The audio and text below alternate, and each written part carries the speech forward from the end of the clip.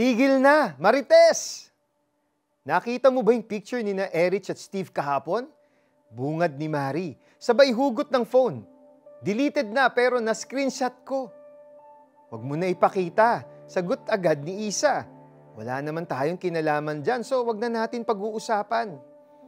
Wala naman explicit sa picture. Depensa ni Mari sa sarili. Saka, nakita na naman ito ng lahat. Nakita ang alin? Biglang tanong ni Erich na nakatayo pala sa likod nila. Nalukot ang muka nito nang masilip ang akala niyang deleted ng photo. Bakit meron ka niyan?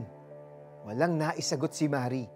Wala rin siyang magawa nang tuluyang magalit sa kanya ang kaibigan. Minsan, mahirap talagang hindi pag-usapan ng personal business ng iba. The more negative, the more na parang masarap pag chismisan. Kaya nga nauso ang term na marites, short for mare. Anong latest? Pero temporary lang ang sayang ibinibigay ng chismis. At minsan, nagiging cause pa ito ng away sa magkakaibigan or kahit sa mga hindi magkakakilala. Sabi ni James sa Santiago 1.26, Kung inaakala ni man na siya'y reliyoso, ngunit hindi naman siya marunong magpigil ng dila, dinadaya lamang niya ang kanyang sarili. Walang kabuluhan ang kanyang pagiging reliyoso. Mabigat man ang mga salitang ito, maganda itong reminder.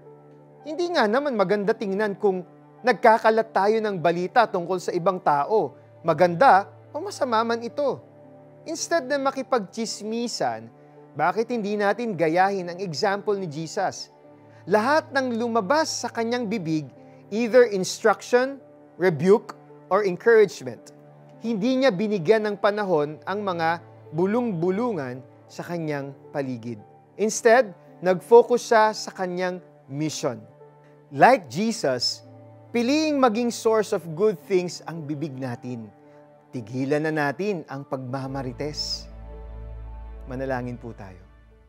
Panginoon, tulungan po ninyo akong umiwas, mag-share at makinig sa mga chismis. I pray na mabubuting bagay lang ang lumabas sa aking bibig.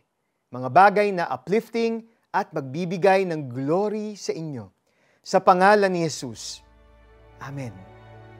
Kapag may nagsimulang mag-share ng chismis sa iyo, magalang na i-request sa kausap na wag nang ituloy ang kwento. Instead, i-divert ang usapan sa mga positive na nangyari sa inyo sa buong linggo.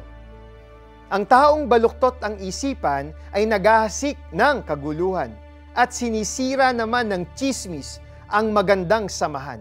Mga Kawikaan 16.28 So remember, Next time you're tempted to gossip about someone, isipin mo muna ang pwedeng maging epekto nito sa iba. Let us be agents of peace instead and encourage one another.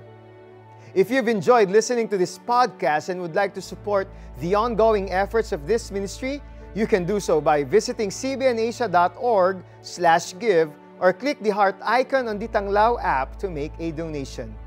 I am Eric Totanes. God bless you.